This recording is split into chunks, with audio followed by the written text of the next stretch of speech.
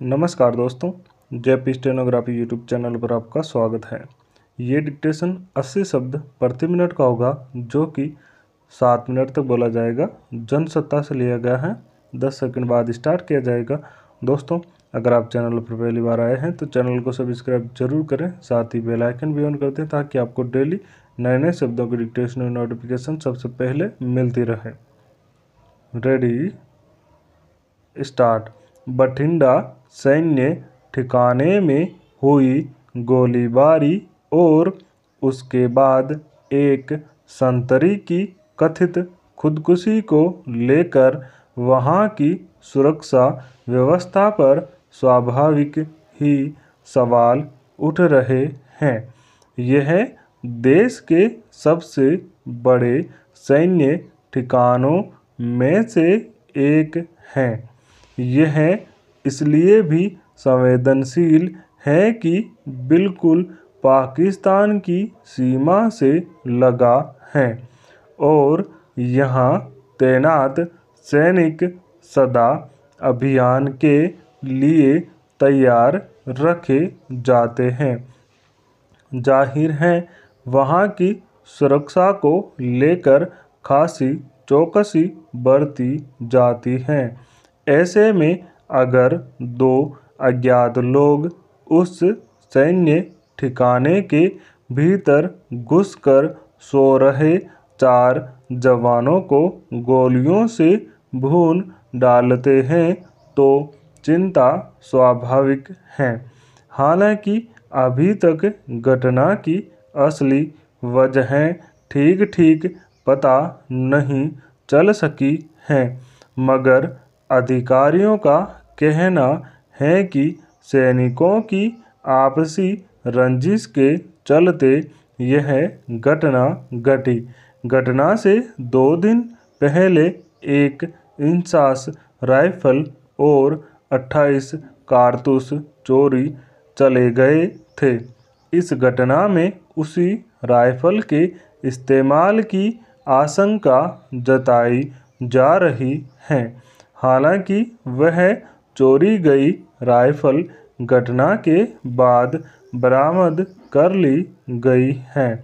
इस घटना की असल वजह जाँच के बाद पता चल जाएगी। मगर वहाँ की सुरक्षा से जुड़े सवाल शायद अनुत्तरित ही रहेंगे। इस घटना के अगले ही दिन एक संतरी की सिर में गोली लगने से मौत हो गई, जिसे खुदकुशी बताया जा रहा है। दोनों घटनाओं के आपस में जुड़े होने से इनकार किया जा रहा है, मगर कथित खुदकुशी की घटना भी संदेह और सवालों से परे नहीं है। सैन्य छावनियों में बाहरी लोगों का प्रवेश आसान नहीं होता।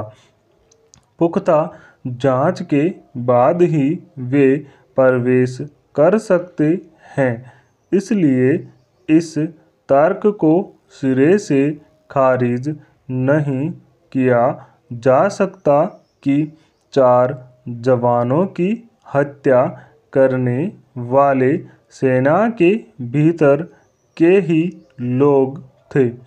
मगर यह समझना थोड़ा कठिन है कि वे कैसे नकाब पहनकर आए और वारदात को अंजाम देने के बाद बड़ी आसानी से निकल भागे। छावनियों में सेना की टुकड़ियाँ किसी वरिष्ठ अधिकारी की निगरानी में रहती हैं। जगह जगह आंतरिक सुरक्षा के इंतज़ाम होते हैं। निगरानी चौकियाँ बनी होती हैं। बठिंडा में इसे लेकर अधिक ही चौकसी की उम्मीद की जाती है। फिर कैसे दो नकाबपोश राइफल और कुल्हाड़ी लेकर भोजनालय वाले इलाके में पहुँचे और चार जवानों को मारने में कामयाब रहे। कैसे उन पर सुरक्षा में तैनात किसी सिपाही की नज़र नहीं पड़ी, या फिर जब गोलियाँ चली तब भी कोई सक्रिय क्यों नहीं हुआ? इस घटना को मामूली चूक या आपसी वैमनस्य बताकर हल्के में नहीं लिया जा सकता। अगर कुछ सैनिकों की आपस में रंजिश थी तो उसके बारे में उनके अधिकारियों को जानकारी कैसे नहीं थी? फिर उन लोगों की पहचान करने और उन्हें तलाशने में इतना वक्त कैसे लगा? यह घटना बड़े सातिराना ढंग से अंजाम दी गई। ऐसे लोग सेना के लिए किसी भी रूप में उचित नहीं माने जा सकते।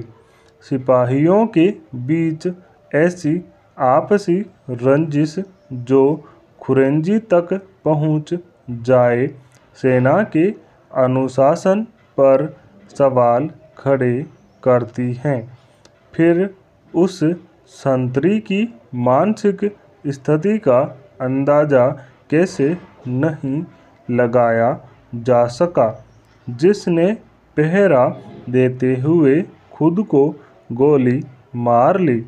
इन दोनों घटनाओं से यही रेखांकित हुआ है कि बठिंडा सैन्य ठिकाने में सब कुछ ठीक नहीं है। फिर यह भी कि सैनिकों की मानसिक स्थिति का आकलन करने के लिए जो सुझाव दिए गए थे, उनका सही ढंग से पालन नहीं हो रहा है। स्टॉप। दोस्तों, इस डिक्टेशन का पीडीएफ लिंक डिस्क्रिप्शन में मौजूद है। आप वहाँ से जाके डाउनलोड कर सकते हैं। साथ ही ये डिक्टेशन और इसका पीडीएफ व्हाट्सएप ग्रुप पर भी शेयर किया जाता है, जिसका लिंक डिस्क्रिप्शन में मौजूद है। आप ज्वाइन कर सकते हैं। दोस्तों, अगर डिक्टेशन अच्छा लगे, पसंद आए तो लाइक, शेयर, कमेंट ज़रूर करें। Thank you.